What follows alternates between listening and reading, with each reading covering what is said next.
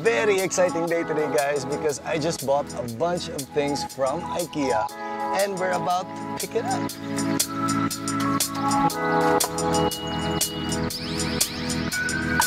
Now, you might be wondering, di ba Slater, yung bahay niyo nasa Cebu, di ba? May IKEA ba dyan? Meron na, guys.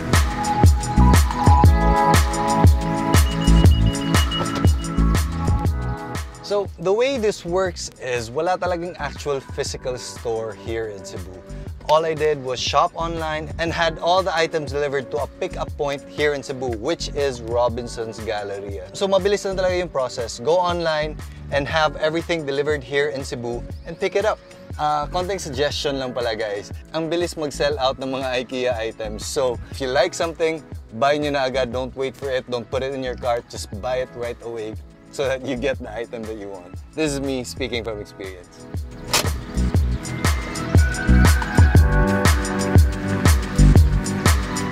Hi, Mark. so si Mark will help us with our orders today.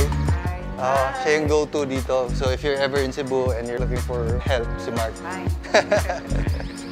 So this is everything that I ordered. I actually forgot na kung ano yung mga in-order ko.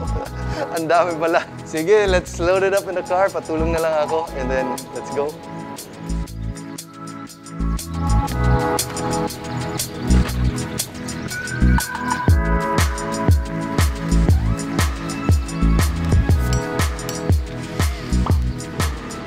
Guys, nakalimutan ko. Sobrang dami ko palang in-order. Check this out.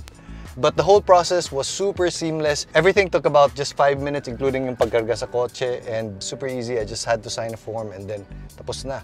So very, very convenient, especially for us Cebuanos. All right, we're finally back home. We have tons of boxes to unbox. Let's see what we got, shall we?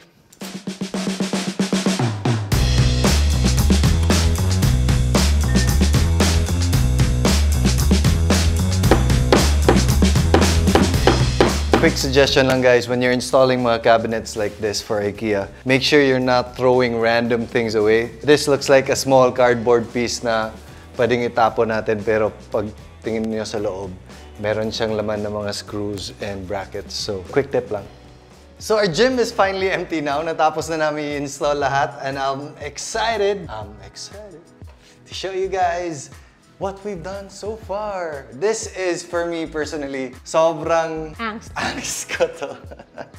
Kasi dati, it used to be all the slippers and all the shoes will be lined up here. And then dun sa dulo, nilalagyan pa ng mga brooms, mga mops. This is like our stock room dati. Pero this is what we've done. So all we did was recycle the old shoe rack. Pero ginawa na namin all slippers. These are our guest slippers. This is Chris's slippers and Chris's slippers and then my slipper. That's it. That's my... Ito at ito. Pareho pa yung kulay. Fine, I'll keep some slippers. and it's just it's the same color. and all the shoes nilagay namin dito sa IKEA style cabinet. I chose this in particular para hindi matamaan when we open the doors because this is fairly thin. At first, I was a little bit concerned na baka it's too thin na hindi kasha yung mga sapatos, especially my big shoes. But take a look at this, guys. So, the first level is my level. Even my boots, kasha. And then, on the second level, Chris's shoes. So, dalawang layer siya. You put one layer here and the other layer here. It's pretty cool. And the last layer are Olive's got these chikiting shoes. So cute. so, super clean na siya dito. And um, whenever I pass by, ooh, parang maliwanag na siya. That is my impression of this space. But Slater, saan niya nilalagay yung mga mops and brooms dati? Well, here we go guys. So, this used to be just a plain wall. Nilagyan lang namin ng Chris's Fake fiddly fig. fiddle fiddle leaf fig, fiddle leaf fig. Yes. Okay. And this is actually a shoe cabinet because shoe cabinets are typically more narrow. This is the Klepstad by IKEA. So marami siyang mga shelves, di ba? So we just place the shelves here for future kung kailangan namin. It used to be shelf to lahat. But we turned it into a small broom closet. At least malinis na and they don't have to go all the way to the back para kumuha ng mga ganito. It's They get it here. And this is the brooms for the inside of the house. Also, welcome to Slater's hardware store and water refilling station. This area used to be a mess. These were over here, sobrang sikip. And I have a lot of my hardware tools and hardware things like mga sealants, mga pang-repair namin dito sa bahay. Actually, this is overkill. Pero ngayon, we've organized everything into these Besta cabinets. Ang ganda ng Besta cabinet is because it's modular. You can buy this na two-piece siya, pero this one is actually just one piece and you can connect them together, form them whatever you like. You can stack one on top of the other. And ito, you can even buy shelves for it. So this one was, I think, 350 pesos. So bili ka lang ng shelf if you want more shelves. And this is actually what I also use in my room. Come here. Lastly, and this is what I'm most proud of, come here, my man cave is newly renovated.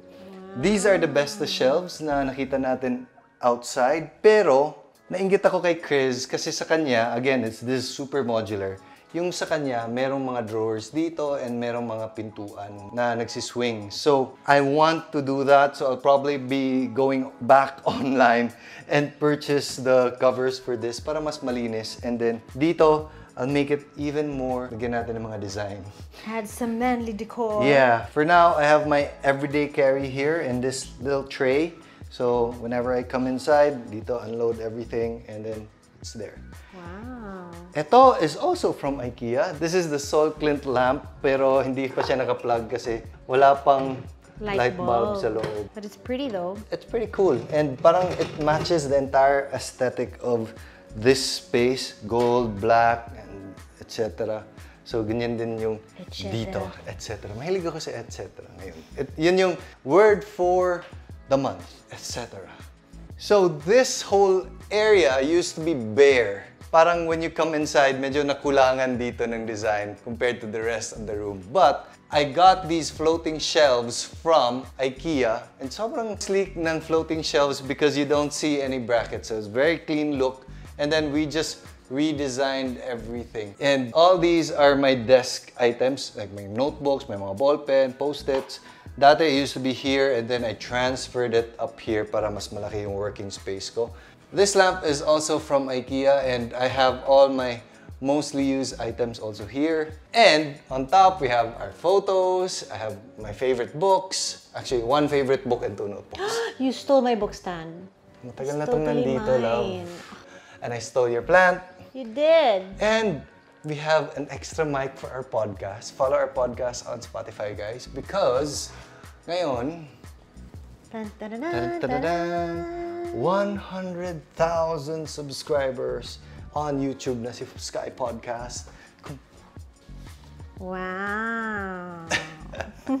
So I feel like, especially with this space, these shelves, parang it brought a lot of life to this area. Hindi na siya bare and uh, hindi na siya mukhang hindi pa natapos.